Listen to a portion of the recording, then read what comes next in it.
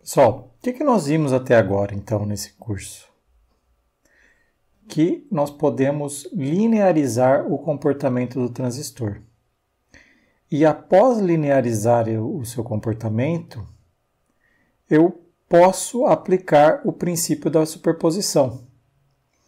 Então eu posso dividir o meu é, o meu circuito com transistor em dois circuitos, um circuito de polarização e um circuito de pequenos sinais. Então, repetindo, sempre que eu for fazer tanto a análise quanto o projeto de amplificadores com transistores, eu primeiro zero o sinal ou ignoro a importância do sinal e avalio a polarização do circuito. Depois que eu tiver o meu circuito polarizado, é que eu vou avaliar, vou ignorar a influência das fontes de polarização e vou avaliar a influência do sinal. E é aqui que entra questões como a impedância de entrada e saída do circuito que a gente viu no vídeo anterior. Então, nesse vídeo, o que eu quero falar com vocês é sobre essa primeira etapa, que é a etapa de polarização. Então, como que a gente garante que o transistor está adequadamente polarizado para que ele trabalhe no modo ativo e eu tenha o meu transistor funcionando como um amplificador? Então vamos começar com um exemplo. Vamos olhar este circuito daqui. Qual que é o ganho deste circuito? Bom, para eu calcular o ganho, eu preciso olhar qual é a relação da tensão de saída pela tensão de entrada. Mas antes de eu olhar isso, eu preciso olhar se o transistor está de fato polarizado no modo ativo. Então, o que, que ele precisa ter para que ele esteja no modo ativo? Ele precisa que a tensão, como o VE está aterrado, eu preciso que o VB seja maior do que aproximadamente 0,7 volts, para que eu tenha a minha junção base emissor conduzindo. E aí eu precisaria que o VC, que é o próprio Vout, fosse também maior do que o, VB.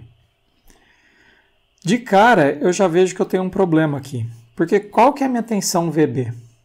A minha tensão VB está dada por essa fonte, pela fonte de sinal VI. E a tensão dela está é, tá variando de mais ou menos 20 milivolts. Então, como eu nunca vou fornecer uma tensão maior do que 20 milivolts, eu nunca vou chegar a colocar a minha junção base-emissor em condução. Com isso, meu transistor nunca vai estar tá passando corrente a tensão aqui vai ser sempre praticamente VCC. Vamos ver com números? Se eu colocasse, se eu assumisse uma tensão de entrada de 20 mV, o que, que, eu, que corrente que eu ia ter? Eu ia ter um IC de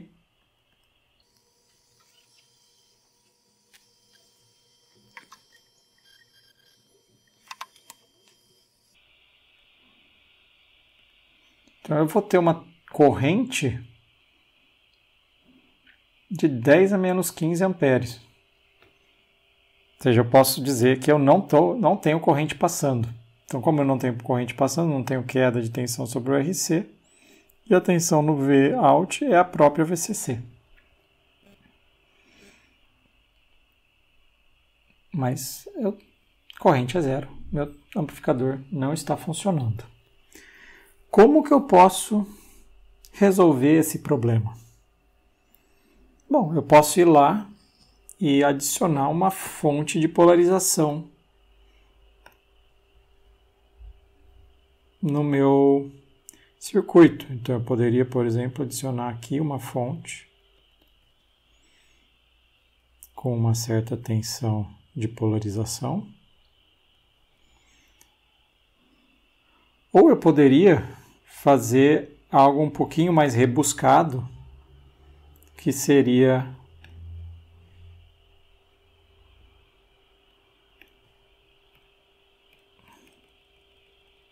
o seguinte, eu colocaria aqui dois resistores para garantir que eu tenho aqui uma tensão desejada e eu teria que tomar um cuidado para desacoplar isso daí. Isso tudo a gente vai ver depois com mais calma, tá? Mas então eu teria que colocar aqui um, um capacitor de acoplamento.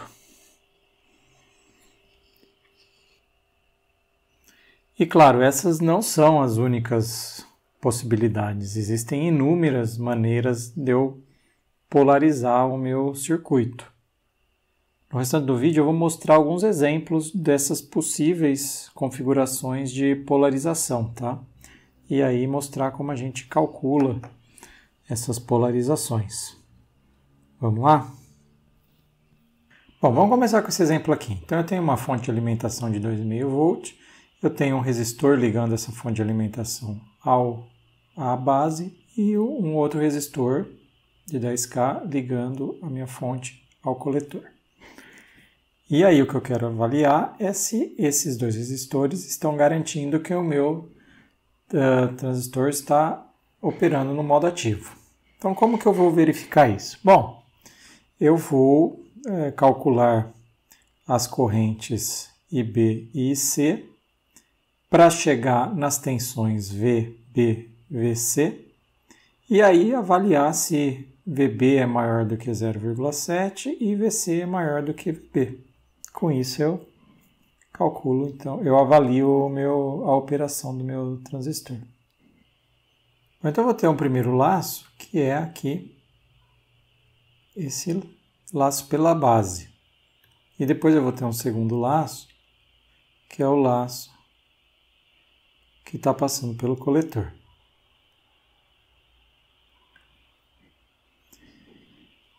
No laço amarelo, o que, que eu tenho? Eu tenho aqui a fonte de alimentação, 2,5 volt, menos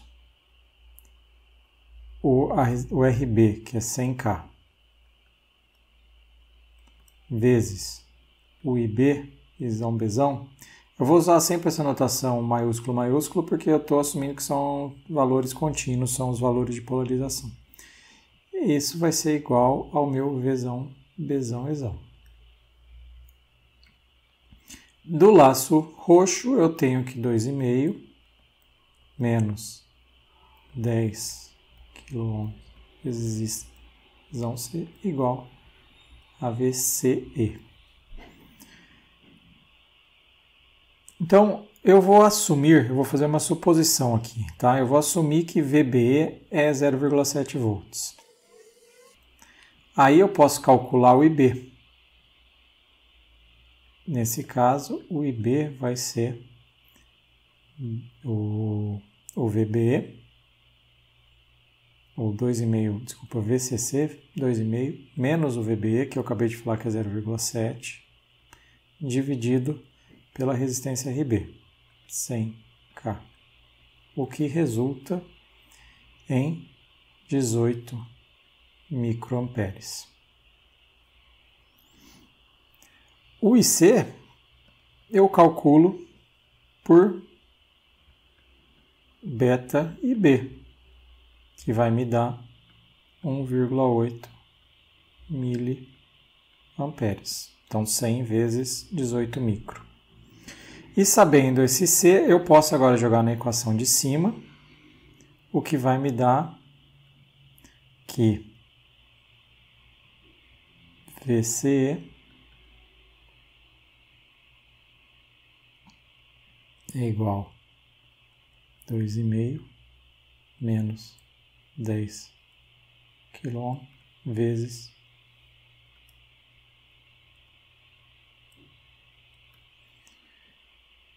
um vírgula oito miliamperes. Isso vai me dar então quilo com milho se cancelam, é, 10 vezes 1, dá 18, ou seja, vai ser igual 2,5 menos 18 volts, que é igual a menos 15,5 volts. Então, o que, que eu acabei de verificar aqui? Se eu voltar no meu, meu desenho, o VE é zero, porque ele está aterrado. VB, eu assumi que é 0,7 volts. Falando aqui que esse valor vai ser 0,7. E esse ponto aqui, eu acabei de calcular que seria menos 15,5. Então, o VC ele é menor do que o VB. Portanto, o meu transistor não está no modo ativo. Na verdade, ele vai estar na saturação. Agora notem, esse, esse valor de menos 15 aqui é um valor meio esdrúxulo, né? Não era de se esperar que, que tivesse um valor desse.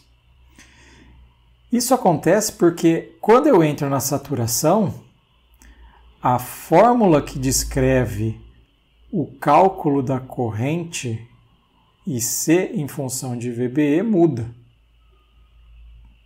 Eu passo a ter uma corrente extra vindo aqui da, da junção BC. Nós não vimos isso, tá? E nós não vamos olhar esse tipo de coisa.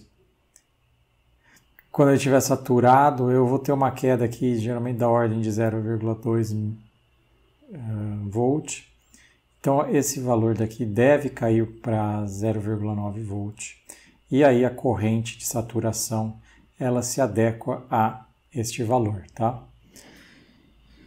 Bom, então o que a gente acabou de ver?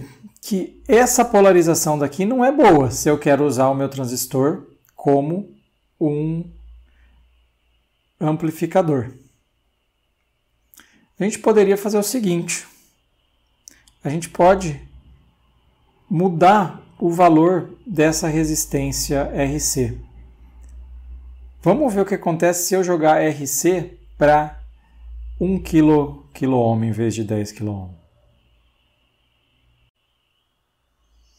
Bom, a gente repete o mesmo processo para esse circuito agora, né?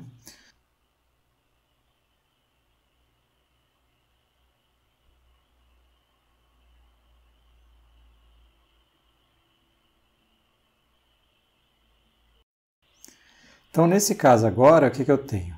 VE é zero. VB eu assumi que é 0,7. E eu acabei de calcular que VCE é 0,7 também. Portanto, o ponto VC vai ser 0,7 volts. Nesse caso, eu estou no limiar entre saturação e ativo, ou seja, meu transistor está funcionando no ponto onde eu gostaria. Fica uma outra pergunta aqui. Eu fiz uma suposição de que, 0, de que VBE era 0,7 volts. Será que essa suposição está adequada? Como que eu posso calcular o valor de, de VBE? Bom, a gente tem os valores de IB e IC, e eu sei que o IC é, pode ser descrito em função de VBE. Então, o que eu posso, o que, que eu faço? Eu digo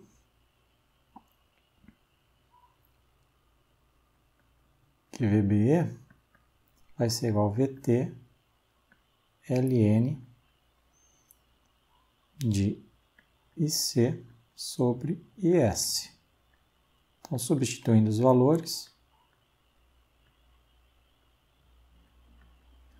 o IC é 1,8 mA, o IS do, do exercício exterior estava definido que era menos 17 amperes, né?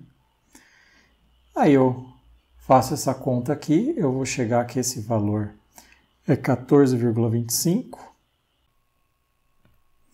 e o produto de 26 mV por 14,25 me dá 0,853 volts. Aí o que, que eu faço? Eu pego esse novo valor de 853, calculo novamente IB e IC e vejo se isso fecho, ou seja, eu faço aquele processo iterativo igual a gente fazia em diodo, né? Então, se eu usar agora este valor de 0,853 volts para VBE, o que, que eu tenho?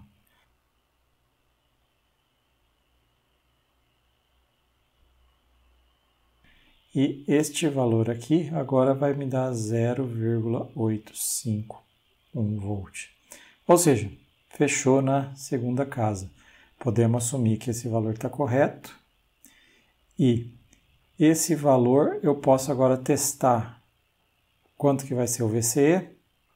VCE vai ser igual a 2,5 menos o RC, que é 1K, vezes 1,6 mA, o que vai me dar 0,9 aproximadamente, né? Porque arredondei 0,9 volts. Significa que o VC, já que VE é zero, né? VC é 0,9 volts, que é maior do que o VB, que é 0,85, e VB é maior do que 0,7. Portanto, agora sim o meu transistor está polarizado no modo ativo e eu teria um amplificador nesse circuito. Bom, nesse caso, a gente acabou de usar então um resistor RB para polarizar a base e um RC para polarizar o coletor. E se eu usasse um divisor de tensão, ou seja, um divisor resistivo na polarização da base? Como que iria ficar?